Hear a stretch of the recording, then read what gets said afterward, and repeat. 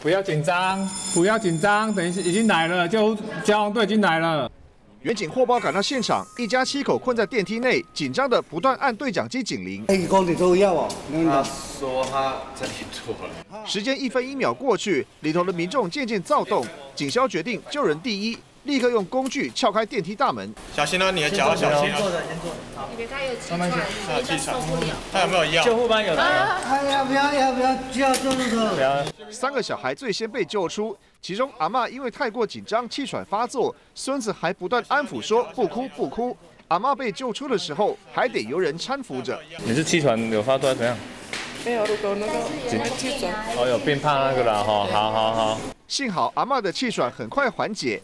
来自台北一家七口四大三小，三个小孩分别是六岁、五岁和一岁抱在怀里的婴儿。他们原本要来一中街游玩，却被困在地下停车场电梯内长达三十分钟。久嘛是第一届。第一届啊，我妈我妈对对。原本能承载十二个人的电梯，为什么载了七个人就突然停住？警消推断，可能是因为这个原因，可能是中途中有。比较大力的跳动啊，或者是重量倾向于哪一边，都有可能导致电梯的安全机制启动。不太敢哎，怎么说？呃，因为这感觉看起来比较老旧一点。听到有人受困电梯，停车场其他民众有人吓得不敢搭。